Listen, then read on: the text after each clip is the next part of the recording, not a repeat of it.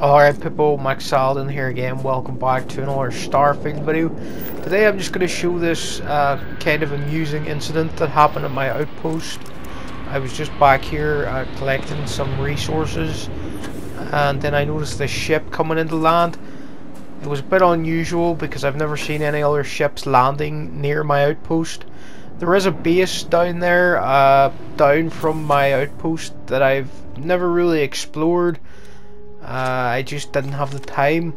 So when I saw this ship coming into land, I was like, I'm actually going to steal that ship because I'm pretty sure it's pirates or something that's down here. And I really should wipe these guys out by now.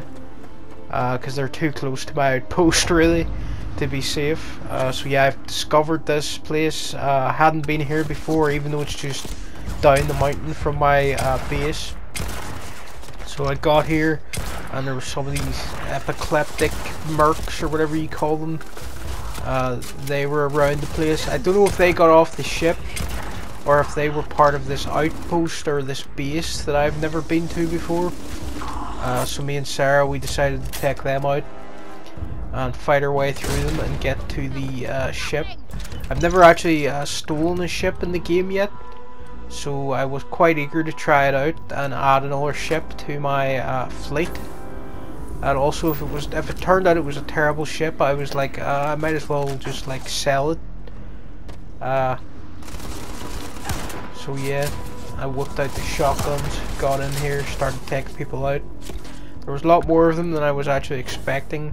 But again I don't know if these people actually got off the ship or they were always uh, down here at this base. It was probably for the best that I wiped them out because it's not really a great idea to have a bunch of pirates or mercs hanging out so close to my outpost. I don't know if mercs can actually attack your outpost or pirates can show up or whatever. So far the only other things that have attacked my outpost are just local wildlife. I think it's an enemy called the Stalker enemy. Uh, or the Creeper or something like that. It's a native inhabitant of this moon. A couple of them showed up outside my base before and uh, my turrets took them down but I don't know if pirates or anyone else can show up. But I thought it was best to just get down here and investigate what was going on and hopefully steal this ship. Now it turned out this was actually one of these cultist ships or whatever they're called. Uh, it was it's a pretty small ship so there isn't a lot of them to fight on here. But I managed to get on board come in, uh, see one of them over here just sitting at a desk, just took him down with a shotgun. And then I decided to look around, steal some stuff. Just take whatever they had. well take what we can. Uh, then uh, I heard someone in the cockpit, it was obviously the captain or whatever. So I opened the door, head round the corner because I was expecting to uh, come under fire, toss in a grenade, back round the corner, Ran in, shotgun, blasted him to pieces, and then stole all his stuff. Was pretty happy with that little maneuver, because uh, if I just stood in front of the door, I would have just been like blasted in the face with lasers there. I'm pretty sure. Pretty nice uh, looking cockpit. Uh, so I just sat in it because that's how you take over a ship. Uh, you have to sit in the pilot's seat. Uh, and then this little pop-up came up uh, tell me that like when I take off with this uh, this ship. It'll be marked as my home ship. I didn't really want that exactly because my uh, Mantis ship that I've been using I prefer it to be my home ship. So I went back out of that menu and then ran around the uh, ships more looking for some more stuff to steal.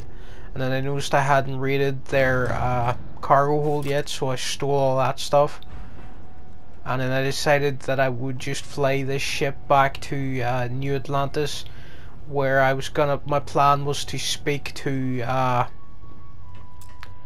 what do you call the guy? The guy at the spaceport who just like sells you ships or whatever? Because I was I hadn't sold a ship before but I was guessing that he was the guy I would have to speak to to do that. So I did explore the ship a bit more went up this ladder uh, looked for any other gear that was hidden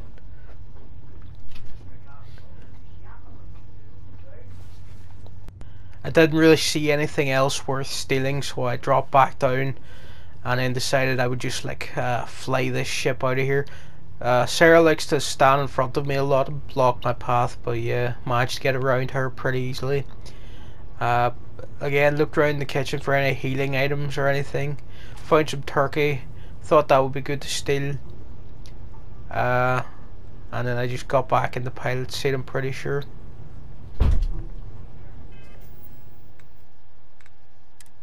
Okay, yeah, this is where I decided to fly back to New Atlantis and try to sell this ship. I don't know if it's worth a whole lot, um, because it's just some random uh, cultist ship. Don't think there's anything that fancy about it. But I only have like three or four ships in my fleet at the moment, uh, including the starter ship. So I don't have that many ships to choose from, but I'm pretty happy with the uh, the Mantis ship, as I'm calling it. Uh, I think it's called the Razor Leaf. You know, the ship you get from that Mantis, Lair of the Mantis side quest. It's a really uh, pretty decent ship early on, and I've been enjoying using it. And I upgraded it so that it could hold uh, five crew members. So that's the main reason I want to hang on Let's to that ship. To but yeah, I just flew this ship over here. Probably gonna sell it. And yeah. Thanks for watching and I'll see you again with another Starfield video.